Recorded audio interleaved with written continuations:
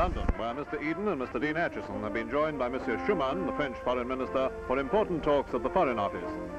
The Big Three, besides discussing the future of Germany, will also pay special attention to the Far Eastern situation, evolving it's to be hoped, new plans for bringing nearer the prospects for world peace.